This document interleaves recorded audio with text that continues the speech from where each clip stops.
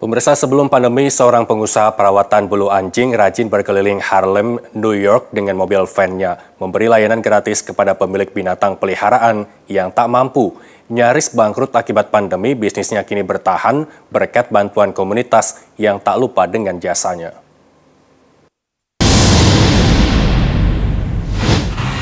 Selama pandemi, banyak orang kesulitan memotong rambut mereka sendiri apalagi memotong rambut anjing peliharaan mereka.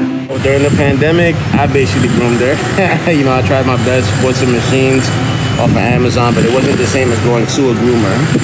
We just took the scissors and just cut the hair lower. We didn't try to style it. Tak ada yang lebih terkenal di kalangan pemilik hewan peliharaan di Harlem, New York, selain Brian Taylor, penata rambut hewan bersertifikat.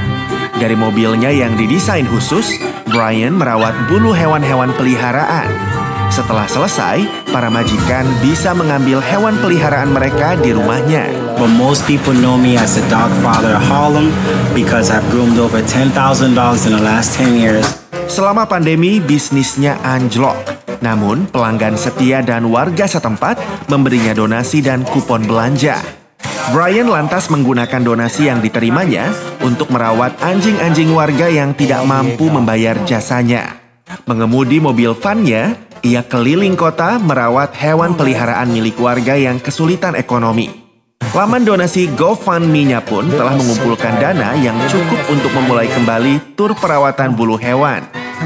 Pria asal Sierra Leone ini selalu menyukai anjing, namun tidak diperbolehkan memelihara saat kecil. It's part of our, our Muslim religion that dogs are inside. So when I came here, um, around 15, my younger brother and I, we rescued a dog.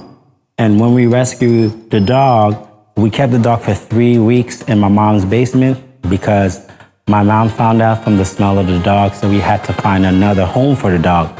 And I think at that moment, and I kept it in the back of my mind that one day I was gonna own my own dog. Ibunya ingin ia menjadi bankir, tapi Brian justru mendaftar ke sekolah perawatan anjing. Grooming business across America is super successful because there's over 100 million dogs and cats, and there's over 300 million people.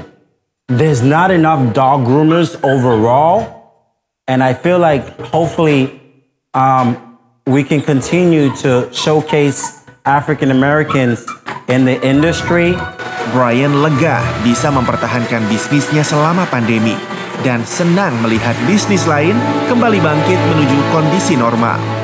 Dari kota New York, VOA.